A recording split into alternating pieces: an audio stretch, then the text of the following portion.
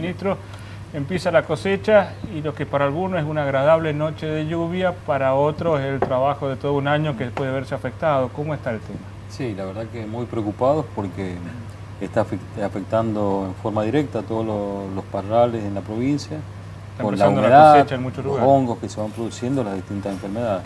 Así que lo que aconsejamos nosotros es que los productores eh, tomen los recaudos pertinentes tratando de, hacer las curaciones correspondientes, porque si no...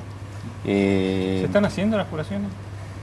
Bueno, eso hay que, hay que verificarlo. Según lo que dicen, hay una parte que lo hace y otra parte que no. Así que eh, generalmente el que, está, el que vive de, la uva o de cualquier otro cultivo hace las curaciones correspondientes, pero el otro lo deja a la mano de Dios, a lo que fuere. ¿Y con el granizo cómo les ha ido? Porque hubo granizo. Sí, tuvimos granizo el 1 del 5 de diciembre, después el 26 de diciembre, el 15 de enero y después otro más, no me acuerdo la fecha exacta. Hemos tenido cerca de 260 denuncias, donde en las denuncias los productores eh, han denunciado cerca de 3.000 eh, hectáreas, lo que no quiere decir que estén dañadas. Eh, de ahí se está terminando lo que es la verificación. aquellos que están comprendidos en lo que es el seguro que tiene la provincia para, para el pago de los siniestros. ¿Lo tomaron muchos productores o no? no, sí, hay una parte donde es gratuito, que es hasta 6 hectáreas, que es la parte donde, tenemos más, más productores afectados y la otra parte es un seguro eh, voluntario, donde el Estado se hace cargo del 65% del costo del, seguro, siempre y cuando notifiquen a la aseguradora contratada por el gobierno que, eh, que quiere entrar dentro de esto. Eh, el Estado paga el 65%, hasta productores de 20 hectáreas. Melones, por ejemplo, los que ya, ya se ha ido cosechando, ha sido buena la cosecha, se ha visto en, muchos lugares y con muy buena calidad de, de melón. La huerta ha tenido sus problemas con tantos días de lluvia, 16 alertas de lluvia. Eh, hay, hay algunas mermas y hay algunos algunos productos que estaban bastante caros. Hay algunos, lo que más afectó en, en cuanto a granizo fue el granizo del 5 de diciembre que afectó prácticamente 300 hectáreas de tomate, principalmente tomate para industria. Y después la lluvia es la que va afectando día a día a cada uno de los cultivos de hortalizas. Estuvo con su par mendocino, con el ministro de Economía de Mendoza, hablando de lo que puede ser este año, qué es lo que se trajo en claro.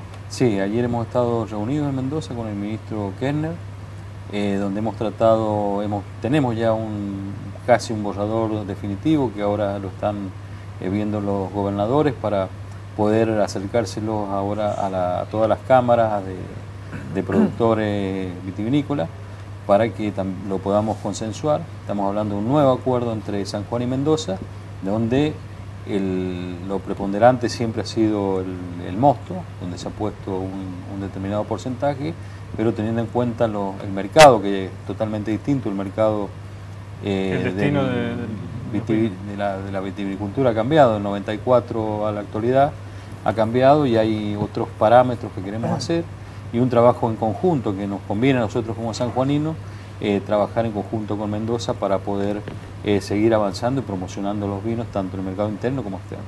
¿Cómo ha repercutido estos cambios en la moneda, en donde ha aumentado el dólar bastante en Argentina? En Chile el peso se ha, devaluado, en Brasil un poco también. Sí, nosotros tenemos muchos problemas de competitividad, por, eh, primero por los costos fijos internos que, hay en, el país. La, electricidad, el gas, no solo afecta a la vitivinicultura, sino que afecta a todas las industrias. Eh, todo esto son costos que eh, después cuando se sale al exterior eh, realmente no, no, pueden llegar a competir, no pueden tener buenos precios.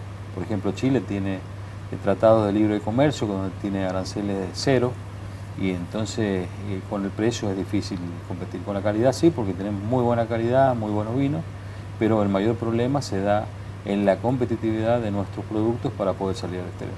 Ministro, ¿qué va a pasar con las empresas que, que todo el año pasado han tenido problemas? Principalmente las cerámicas y, la de los mazos de lo que era en su momento. Sí, bueno, la autopartista ya se despidió y, de alguna manera... Eh, es un, problema que, se ha ocasionado en la provincia, un problema social que repercute en, todas las, familias que, están, que han estado alrededor de, esa empresa, a las cuales no queremos desamparar también y como Estado también brindarles alguna ayuda en la dentro de la posibilidad del, del Estado. Y con lo otro seguimos trabajando para que no se caigan las industrias, estamos en un contexto macro que dificulta que muchas empresas puedan seguir eh, trabajando, como lo que mencionaba recién, los costos fijos de electricidad, de combustible, que hacen que eh, genere una, un proceso inflacionario que no, no termina y, que repercute en forma directa. Lo que hacemos es acompañarlas con medidas directas, que vamos a seguir este año con todo lo que es el, eh, primero lo que es el, incentivo para que las empresas puedan invertir, subsidiando los créditos, créditos de, 0% a 9,5% como hemos estado entregando, que son únicos en el, en el país, subsidiados por el Estado provincial, no hay dinero nacional en esto. Y mm, lo otro, trabajar, seguir trabajando en los distintos programas que tenemos para para la agricultura, la ganadería, la industria, el comercio, el subsidio de fletes que venimos haciendo. Parece que las LEVAC van a ir de a poquito bajando la tasa de, que están pagando, con lo cual algo de menor timba financiera puede llegar a haber, porque si estamos en el 28 o 29% como estaban las LEVAC, es difícil. El problema es que ahora están subiendo las letes, que bueno, eso ya es otro problema. Claro, y sube el dólar. Y, el dólar es un... el dólar, claro, lamentablemente. Yo creo que es una, son decisiones políticas que hay que tomar y las decisiones a nivel nacional no se toman para el lado de la gente, sino que se toman para el otro lado. Y ahí es donde tenemos el, mayor inconveniente que, tienen, que tenemos todos los argentinos.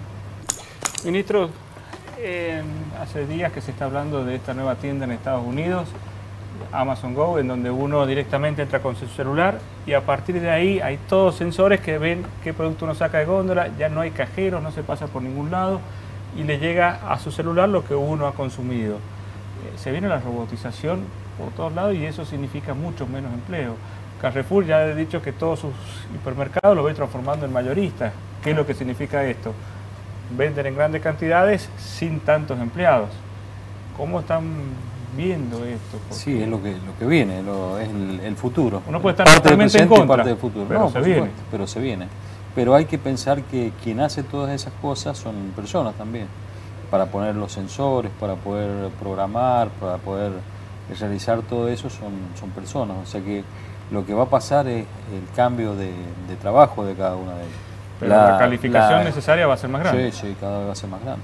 Lo estamos viendo acá en San Juan con el San Juan Tech, donde tenemos las empresas eh, que están relacionadas a todo lo que son nuevas tecnologías, están trabajando muy fuerte. Los otros días hicimos a fin de año una, una especie de feria donde vinieron empresas y ofrecieron eh, a todos los sanjuaninos los empleos que necesitaban, que son relacionados principalmente a la programación, para realizar eh, distintos programas, software, etcétera, etcétera y hubo una, repercusión bastante importante y, es lo que viene, es lo que viene y es lo que seguir, hay que seguir trabajándolo y prepararse.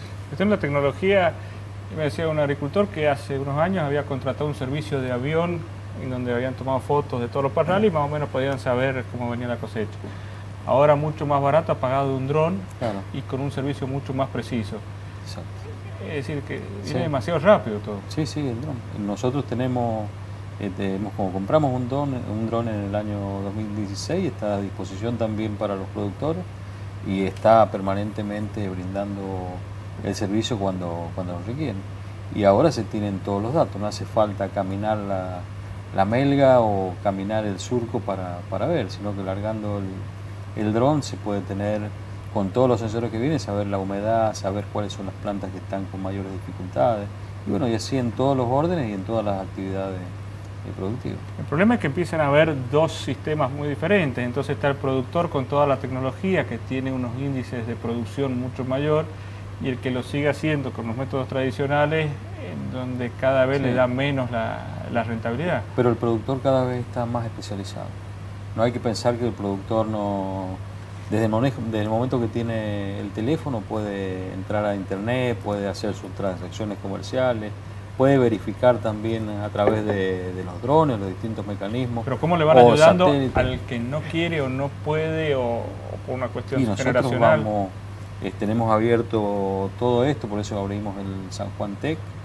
También lo estamos haciendo en todo lo que tiene que ver con la agricultura, la ganadería, para ponerlo a disposición. Es un sector que siempre ha tenido eh, problemas en, cuanto a la tecnología, pero vemos que eh, cada vez es mucho más fácil. Tenemos una aplicación inclusive para lo que es la feria agroproductiva, donde los mismos productores ya venden a través de, internet sus productos, sin necesidad de que vaya el día sábado al Parque de Mayo a, poder comprarlo, sino que ya se contactan eh, a través de sus teléfonos, de sus computadoras y hacen el pedido y se los llevan a su domicilio.